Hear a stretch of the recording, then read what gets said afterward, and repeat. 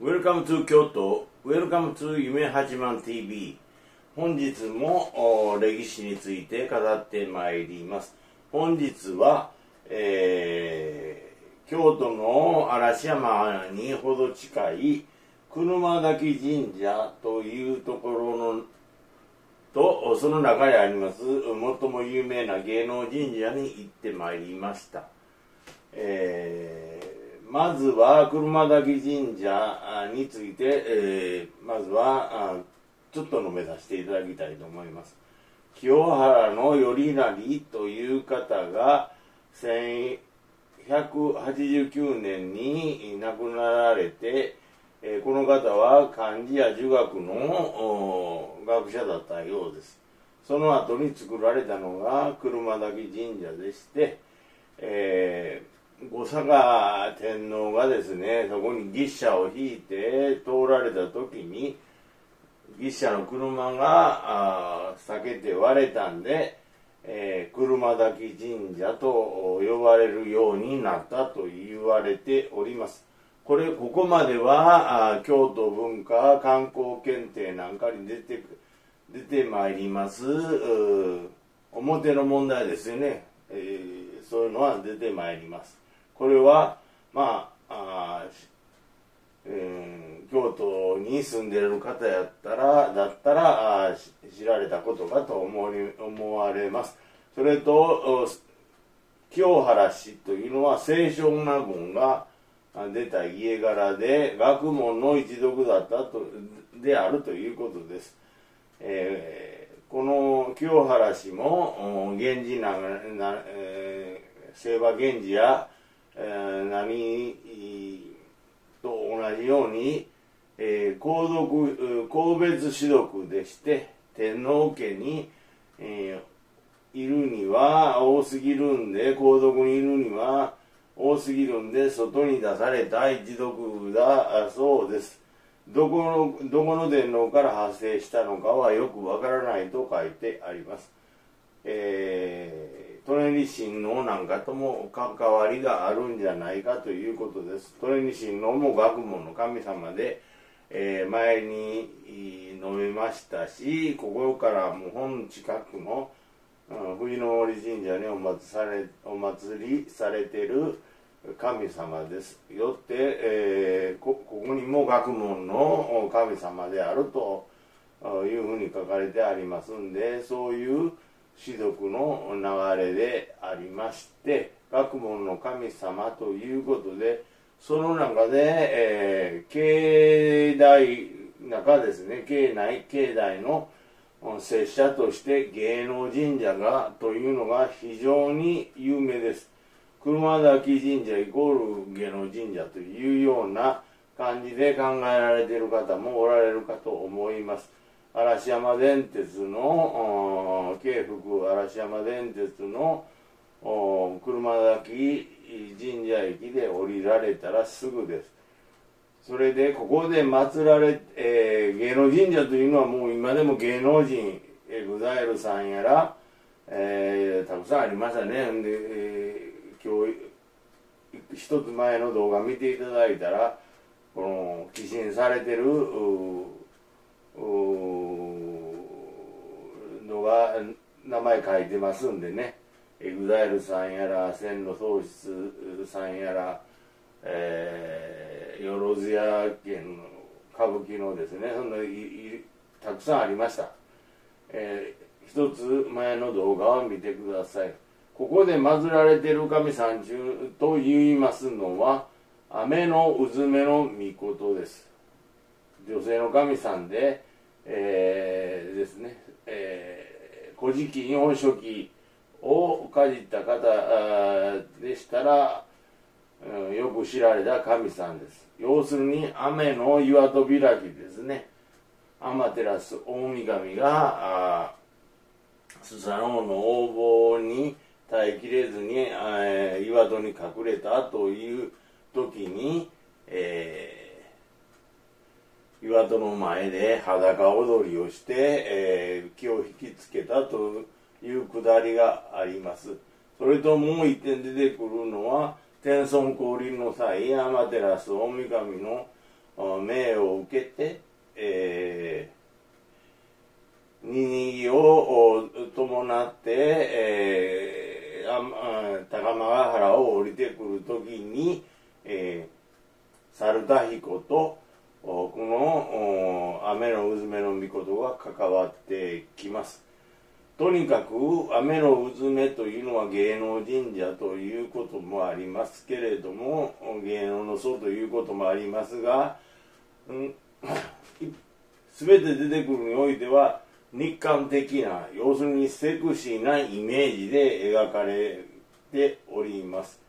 えー、それで天孫降臨では猿田彦先ほど申しましたように先猿田彦と絡んで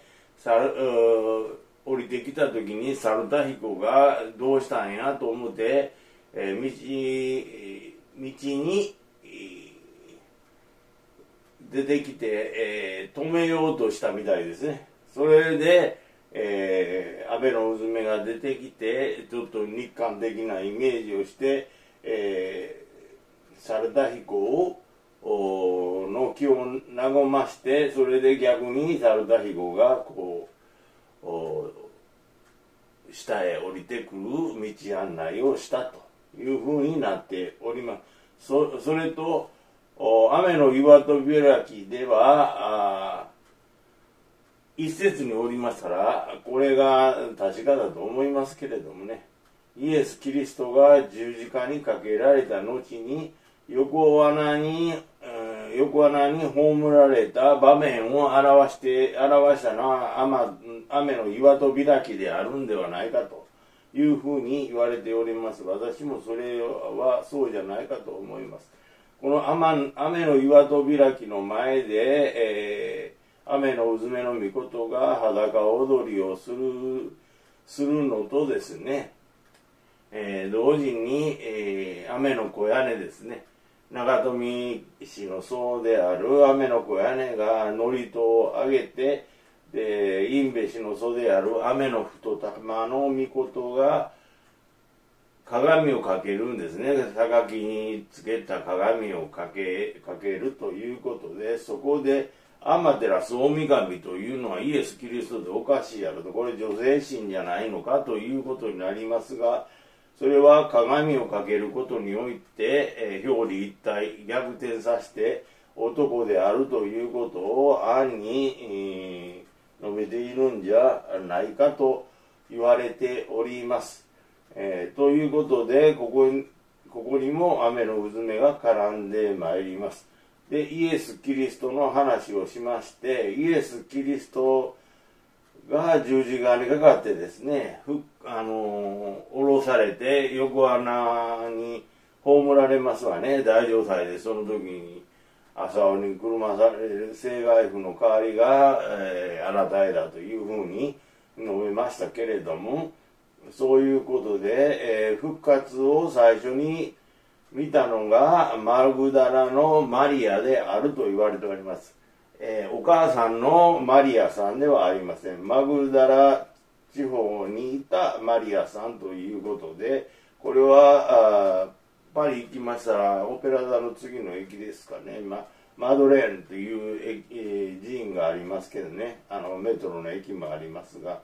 それはここマグダラから来てるそうです。でマグダラのマリアっていうのはイエス・キリストに付き従うまでは娼婦だったと言われております。それを改春というんですかね。改心して、えー、イエス・キリストに付き従ったんだということです。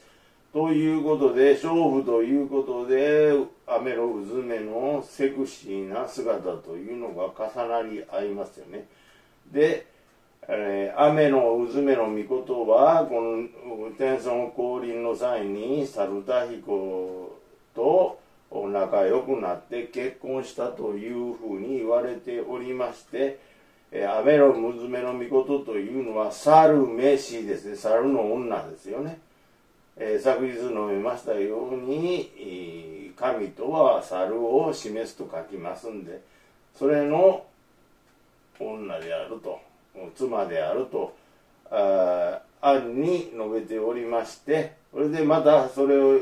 それと派生して、えー、芸能の神様となってきてるんですね。それで、えー、マグダラまたマグダラのマリアっていう方もイエス・キリストと結婚していたんではないかというふうに言われております。いくらキリストさんでも独身を貫くというそういうもんではないですよね。愛とはということを述べた方ですから、えー、そういうことも、うん、あってもありなんということでここでも一致してきますよね。えー、サルタヒコさんとアメノンウルメ、え、さんっていうのは危機においてはこう結婚していると一対であると。で聖書新約聖書においてもイエス・キリストとマグダラのマリアというのは一対であると。こううまくその物語に取り込んでいったんだと思いますこれこれはもうこれイコールこれ、えー、このこのカップルイコールこのカップルというふうに、えー、取り込んでいったのは昨日申しましたあベンジャミン族です。これ失われた十種族ではありません。え今あ確かめられておるのはイスラエルでユダ族とレビ族レビ族祭司族ですね。それとベニャミ族このこの3種は認められてますんでね。その中の一種族ではないかと私は考えておりまして聖書をと熟知してその中に日本の神話の中に取り入れていったんだと。いうふうに考えております昨日も述べましたように、えー、日本の真の歴史を知るにおきまして聖書の記事と読む必要もないと思いますけれども大体の流れがわからなかったら日本というのが日本大和民族はどういう民族なんだということは見えてまいりません。なぜかと申しましたら、えー、イスラエルのディアスポラですね。イエス・キリスト、えー、が磔にかかった後30年40年紀元後70年ぐらいには完全にイスラエルはディアスポラで散らされますし、えー、バビロンの捕囚の前にもその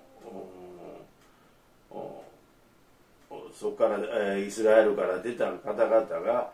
えー、ずっとシルクロードを上一番北のシルクロード中原中のシルクロードそれで海のシルクロードを通って日本にたどり着いてそこから歴史が日本の歴史が始まっていると、えー、紀元前660年大体イダヤあ586年にえー、紀元前586年に、えー、南ユダ、えー、帝国王国が、えー、新バビロニアに補修される前にユダヤが予言予言として察知して日本を目指したといういうのと大体、え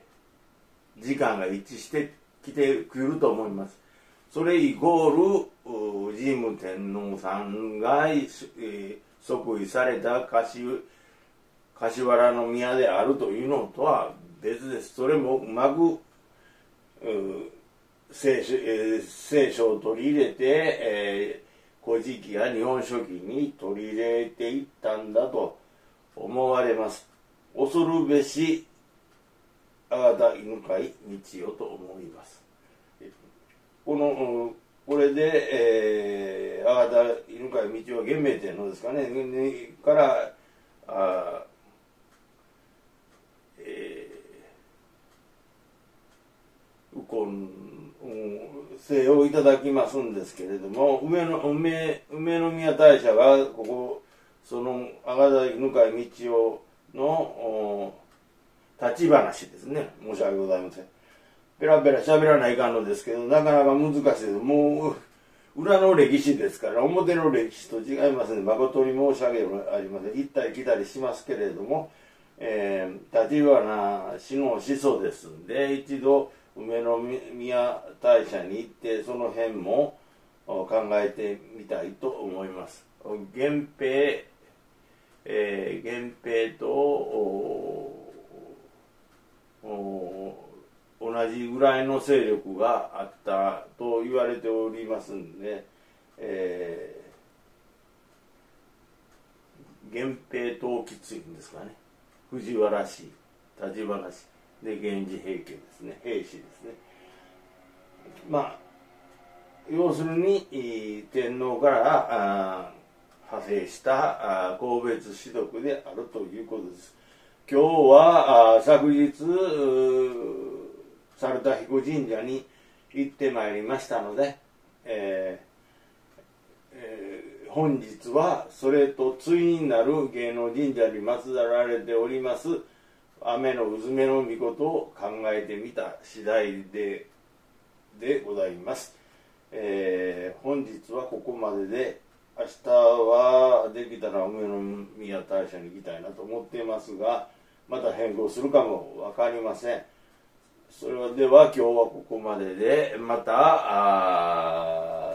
チャンネル登録いただけたらと思っております。それでは今日はここまでさせていただきます。どうもありがとうございました。